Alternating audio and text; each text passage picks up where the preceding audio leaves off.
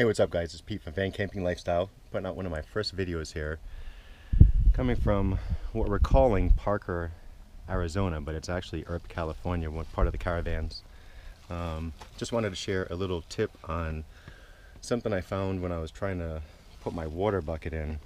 Um, I'm sure a lot of you guys know what this is, your old blue water bin. And you guys have seen it with the nozzle on here and the cover and such. But I'm sure just like everybody else notices that whenever they get their hose, the hose never is straight. It's always it always curves. It seems like it always just wants to so whenever you put it in here, you can put it in, put it in, put it in. But then what happens is at the bottom, it always seems to curl up and it never gets the uh, full amount of water out of the bucket. So what I decided to do, tried figuring out, was now what I do is I just got a piece of PVC and I just stuff it in the the end of this. And I, I, had to cut this down just a little bit because it was actually a little bit longer but it was too small. So I actually cut the uh, the tip of it down just a little bit. So what I do now is I take this and I push it down until essentially that goes basically all the way down and hits the bottom corner of this bucket.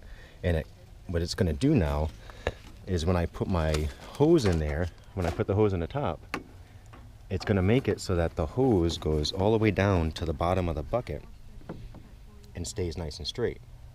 So now I don't have to worry about every time I try using my self-fed faucet here. Sometimes I'd go to pump it and it wouldn't be able to pump because the water was missing and I'd go in there and shake it and sure enough it was half full but what happened was the tube had come up and curled up. So now that I do this, I basically, if I run out of water, it means I'm actually out of water, which also isn't the best, but at least I know it's actually because I'm out of water.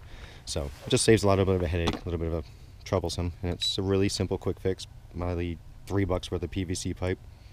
So, hope you guys liked it.